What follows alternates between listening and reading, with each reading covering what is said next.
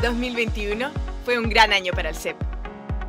Realizamos 75 seminarios. Constitución, salud, conservación y filantropía, política, economía y criptomonedas fueron algunos de los temas abordados. Tuvimos 154 invitados de gran nivel y más de un millón de ustedes se unieron a las transmisiones en vivo. Nuestros investigadores publicaron 32 puntos de referencia y compartimos mucho de nuestro trabajo con ustedes a través de la prensa regional y nacional. Fueron más de 150 columnas publicadas y más de 3.000 apariciones en medios.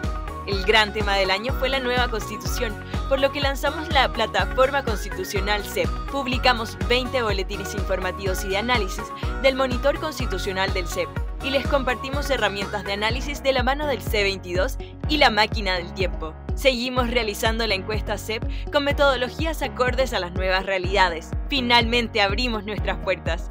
Volvimos a los eventos presenciales en nuestra casa con el ciclo cultural Futuros Posibles, que seguirá el próximo año con más cultura y arte. Y nuestra comunidad online creció muchísimo.